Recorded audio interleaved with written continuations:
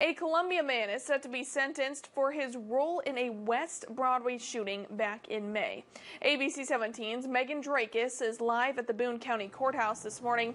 Good morning, Megan. Last month, a jury found 22-year-old Daquan Hughes guilty of assault in the first degree and armed criminal action. Zola, good morning. And for those crimes that Hughes was found guilty of, a jury recommends three years and five months behind bars. But today in the courtroom, Judge Brouck Jacobs will ultimately make that decision.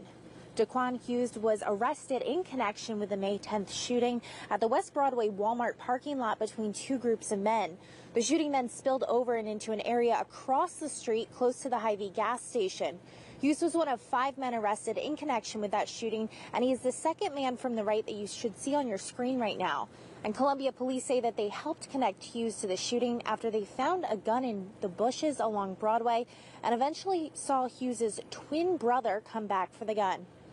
Anzola, since being found guilty of those charges, Hughes has filed for a new trial, which is expected to be addressed today in the courtroom. For now, reporting live from downtown Columbia, Megan Drakis, ABC 17 News. Thank you, Megan. Another man arrested in connection with the shooting, Jared Taylor, is set to appear in court next Tuesday for the same charges that Hughes faced.